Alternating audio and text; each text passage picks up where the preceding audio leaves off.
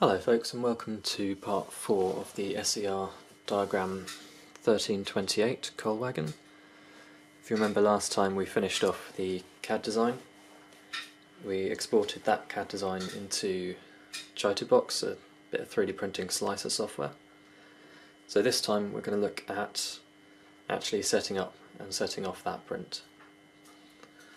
And hopefully we'll get through to the sort of cleanup and post-processing stage as well. So you might be wondering why we're looking at a couple of cardboard boxes. This is a temporary setup for me at the moment, so please don't write in saying I'm not using the correct ventilation or safety stuff. This is temporary until I can sort that out. First part, the 3D printer itself. I'm keeping all of this stuff under cardboard boxes at the moment because it keeps the um, resin in much better condition so I don't have to um, remove all the resin and store it properly between prints. So if we have a look at the printer itself, by the way this is an IPA tank, you don't need to know about that at the moment. So let's move in and have a look, closer look at the actual printer. So hopefully you can see all this fairly well.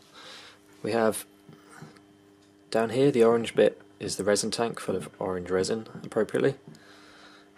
This bit up here is the print head, so that when we print will move down into the resin and then move up layer by layer.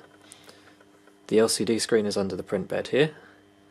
We control the unit with the touch screen down the bottom here and there's a couple of inputs on the side including one from a, a memory stick which is what we've exported the file from the slicer software onto. Just going to plug that in there. And turn the unit on.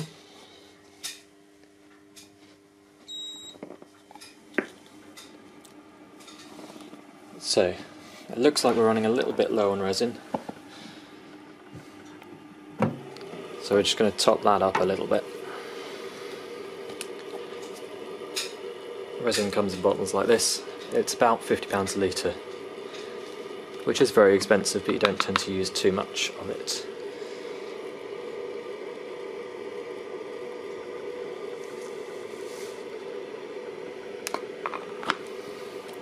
Again, you'd normally use gloves for this kind of procedure, but I'm pretty confident I'm not going to get any on my hands at this stage, so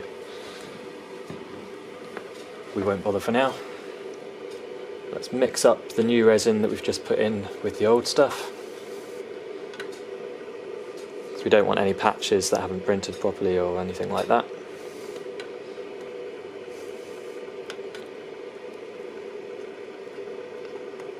Just make sure that's thoroughly mixed. And the only real way you can tell whether you've got enough in there to do a print is by experience. So I tend to fill it about a quarter of the way up. On this particular printer, which is um, an Anycubic Photon, the original version, not the, the S version, there's a little ridge just on the inside of the tank, and I fill it up to that line, which is usually good enough for pretty much any prints unless it's a particularly tall thing. Okay, so I reckon that is sufficiently mixed. Very careful not to get this anywhere. I have a little disposal unit just off screen over there where I keep this sort of thing. And let's close that up to stop any fumes getting out as quickly as possible.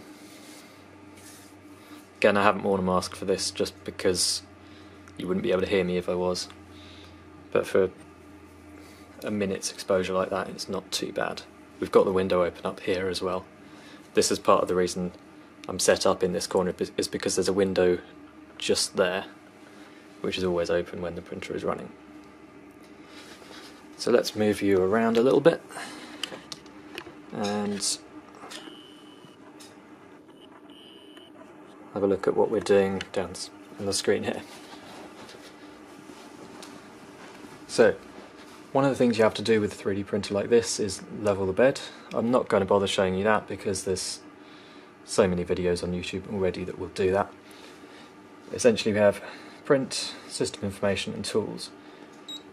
So this tools section here is what you'd use for levelling the bed and telling the printer where it is and so on. We're not going to do that for now. We are just going to go straight into print, scroll down to find the print that we want, which fortunately happens to be the first one. And then we can either delete that off the memory stick, print it, or return to the previous menu. It gives you a nice little preview as well on here, so you can actually see you've selected the right model. Press print, and off we go.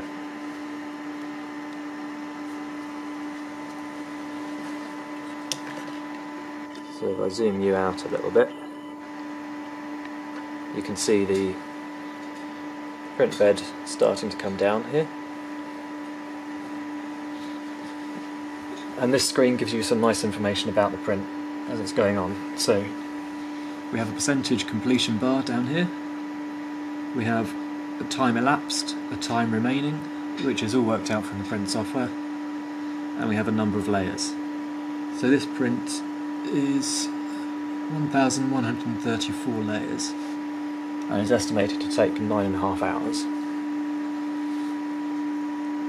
So usually when you print something like this it's a good idea to make sure it properly starts.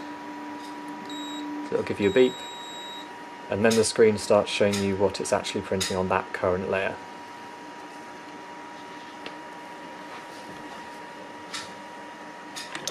Let's just move in quickly for a look. So every, every time it does a layer, this bed will move up, release from the film, let the resin slide back underneath the bed, then it will move back down and put the next layer in. So we'll leave it at that for now, and we'll come back and check on that in a bit. So the print has now finished, or it finished a while ago. I've left it in the printer while I've been out at work all day to let as much resin drain off it as possible, just so it's a little bit cleaner and easier to handle. So if we glove up, always put safety first, of course.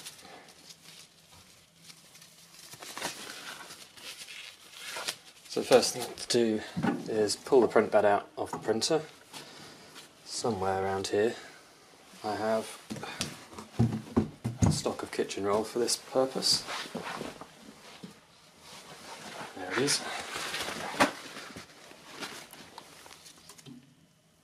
So you want to undo the clamp, pull the print bed out, wipe off some of the resin so if I'd pulled this out straight away after it finished printing, there'd be resin all over here in large drips and you'd have to wipe it all off and it's a waste of resin and it gets a bit messy. So I tend to leave it a while before cleaning as much of the resin off as I can.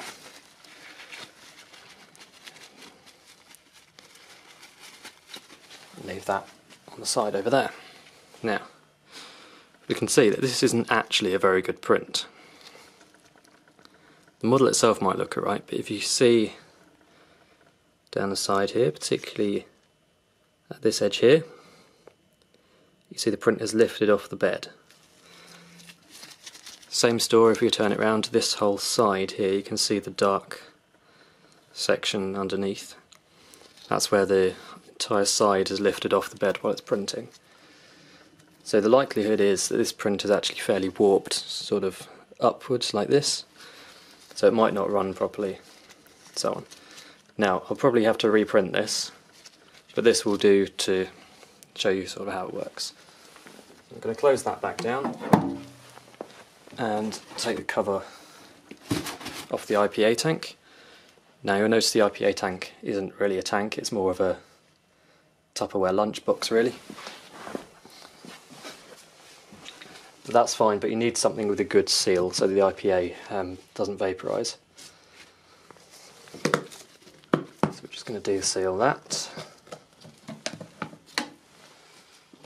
Using this scraper tool. This is much easier than normal because it's already lifted off the bed in places, but just slide that underneath to release the print, like that. wipe that tool off. Give this a quick wipe just to make sure there's no um, half printed bits left. And just stick that back in the printer. Ready for next time. Now I'm going to have to re-level the bed, that's the main reason the um, print wasn't perfectly stuck down. I'm just going to give this a wipe off on the underneath as well to get as much of that excess resin off as possible. You can actually see, I don't know if you can see but I can see, along the side here the level of detail is actually quite good. I don't know if the camera's going to focus on that. Anyway, just going to dump my gloves in to clean off the resin that I've got on there from handling. Give it a little bit of a shake on both sides just to move the IPA around and then I'm going to leave it in there to soak for about half an hour. After half an hour I'll come back and turn it over because some of the um, print isn't quite underneath the IPA and then that'll be that. I'll take it out of the IPA, leave it to drain and dry out entirely for maybe another hour or two and then we'll be ready to move on to the next stage. So here we have a closer look at the printed model. We can see some of the details come out on the side here. You might not be able to see this on the video but there's actually a little hole just here. Let's see if I can focus on that a little bit more. There's a slight diagonal line going up here, which is a print error from the z-axis. It's actually a horizontal line this way, the way it's been printed down from the bed. Um, but you can see the level of detail is actually fairly good. There's another very slight, subtle line on this side here, in the same place. But a little bit of sanding will get rid of that. That's the sort of common error you'll get on a print like this. You can see the ends have come out pretty well. And the sides, I don't know how well you'll be able to see this on video. The sides down here seem to have come out okay as well. The only thing we might need to worry about is warping. So you, if you can see that's lifted off the straight edge there at the corners. And same in this direction. So this part here might be a little bit warped that way. I think we'll be able to salvage this model, unlike what I said in the last video, but well, I guess we'll find out when we start building it. The other thing you might be able to see here is the holes for the bearings. We've got two of those on each chassis and the brake block is printed on this section here. If you can see that. The internal plankings also come out pretty well. I don't know how well you can see that. There's the lines here that we can see. And I can sort of see how fine the springs are as well. Lucky that's printed okay. So the next video we'll be going back to live streams so you can see it in all its long, drawn out, boring glory. Um, and yeah, hopefully with a little bit more light than last time. And we'll get a start on actually building the thing.